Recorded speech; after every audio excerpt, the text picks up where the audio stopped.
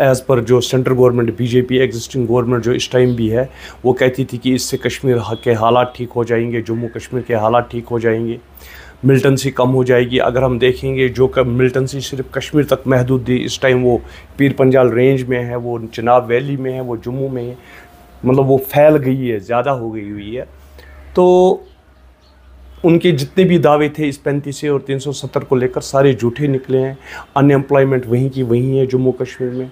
हमारे नौजवान ड्रग्स की ओर रागिब हो रहे हैं। तो मैं नहीं मानता हूँ कि इसके रहने से या इसके नहीं रहने से कोई फ़र्क पड़ा। क्योंकि हम अगर 87 से पहले का जम्मू कश्मीर देखें मेरे ख्याल से इससे ज़्यादा अच्छे हालात थे उस टाइम। देखिए ये तो मैंने पहले भी बोला है ए, काले अक्षरों में जब जम्मू कश्मीर की हिस्ट्री लिखी जाएगी तो ये दिन काले अक्षरों में लिखा जाएगा। इस दिन हमसे हमारी पहचान छीनी गई। पैंतीस से और तीन सौ सत्तर छीना गया। हमारे स्टेट के दो टुकड़े किए गए और दोनों को यूटी बना दिया गया। कुछ पार्टीज़ का जो कहना है, हमें तीन सौ इकहत्तर चाहिए। देखिए थ्री सेवेंटी वन इस टाइम छः सात स्टेटों में है इंडिया में। मतलब विच गिव्स मतलब हमारी नौकरियों को वो सेव करता है, हमारे लैंड को सेव करता है।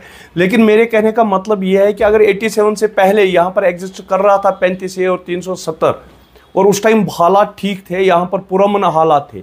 जब नेशनल कॉन्फ्रेंस और कांग्रेस ने दांधली किया इलेक्शन में, उसके बाद यहाँ पर मिल्टन से अरूज पे हो गई। 370 और 35 ए की वजह से ये चीज़ें नहीं हुई। तो क्यों छीना गया? छीना गया। और अगर बीजेपी कह रही है कि ये छीन कर हमने जम्मू कश्मीर के हालात ठीक किए, जो मिल्टन से मैं कह रहा हूँ महदूद कश्मीर तक थी, इस टाइम तो वो चुनाव वैली में पहुँच गई है। जम्मू में पहुँच गई है पीर पंजाल रेंज में पहुँच गई है। उसका वो क्या बोलेंगे? अनएम्प्लॉयमेंट जो है वो वहीं की वहीं है। सारे दावे बीजेपी के झूठे निकले।